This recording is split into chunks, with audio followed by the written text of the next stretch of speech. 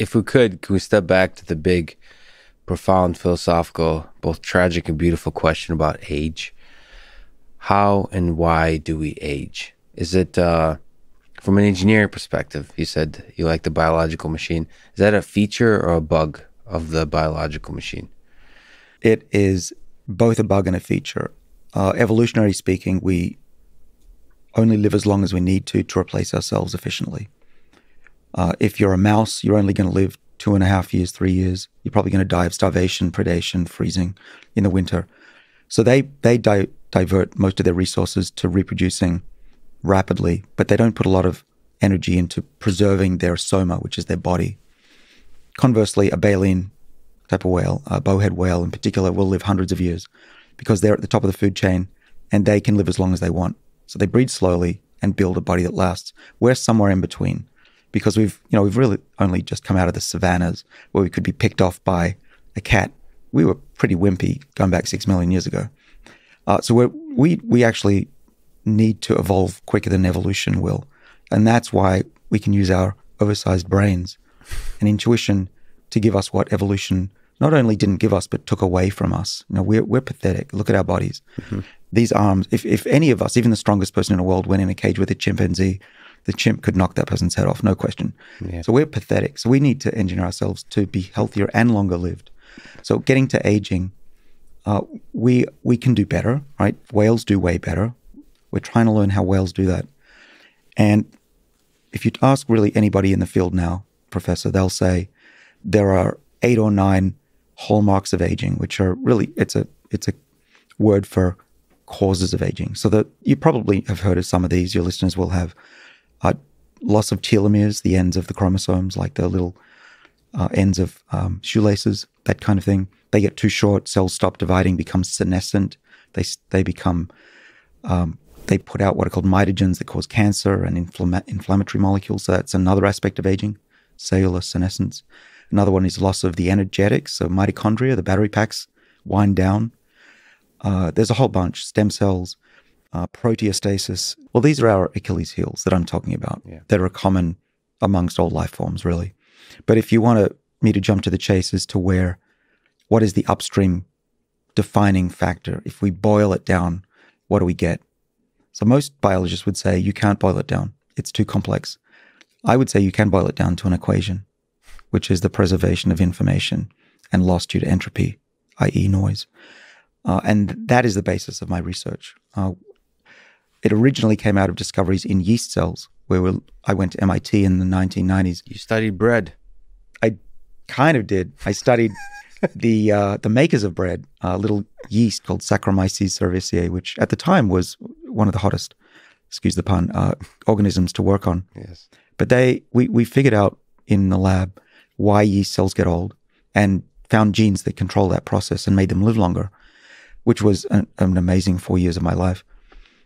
One of those genes had a name with an acronym SIR2. Now, the 2 is irrelevant.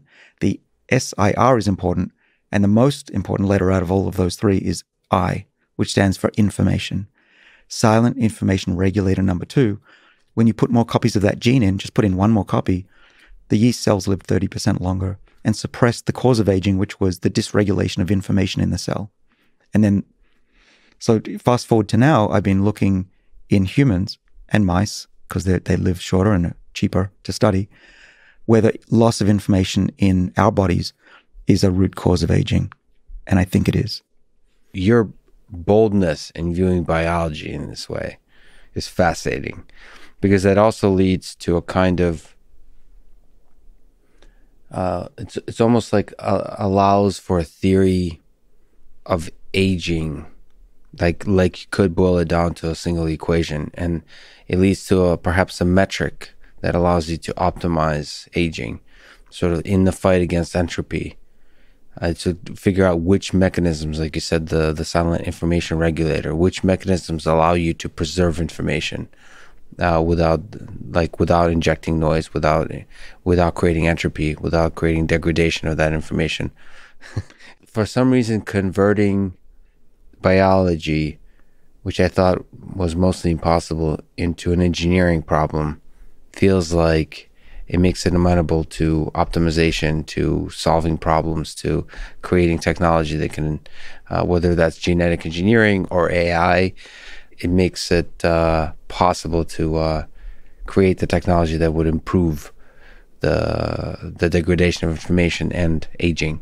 Is is there more concrete ways you think about the kind of information we want to preserve, uh, and also is there good ideas about regulators of that information, about ways to um, prevent the distortion, the degradation of that information? Right. So that we have silent information regulated genes in our bodies. We have seven of them.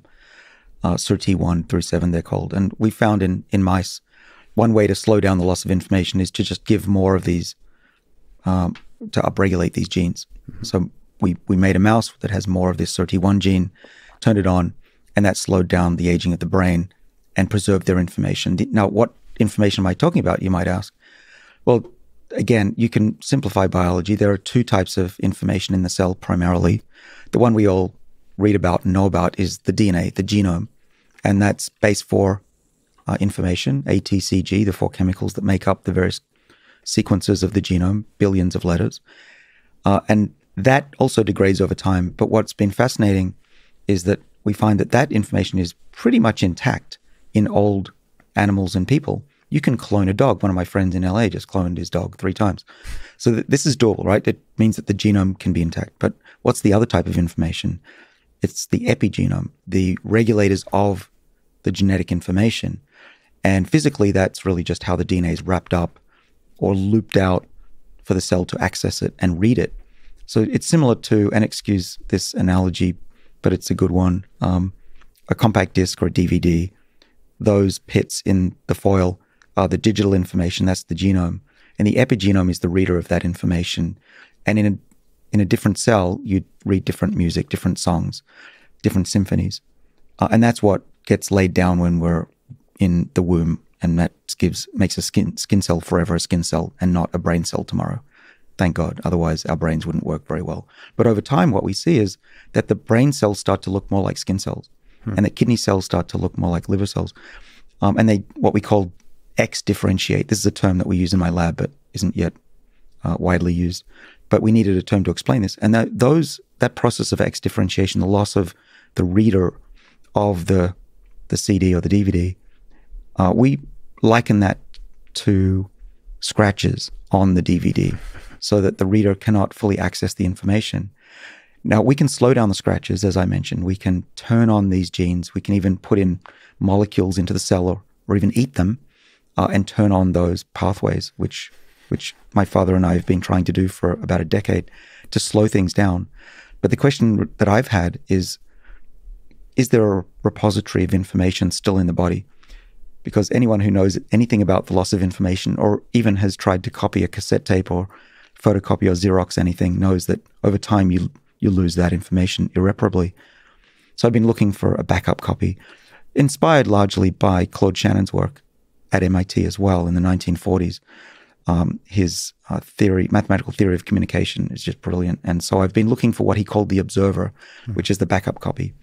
We today might call that the TCP/IP proto- TCP/IP protocol of the internet that stores information in case it doesn't make it to your computer. Mm-hmm. It will fill in the gaps. And we've been spending about the last five years to try and find if there really is a backup copy in the body to reset the epigenome and polish those scratches away.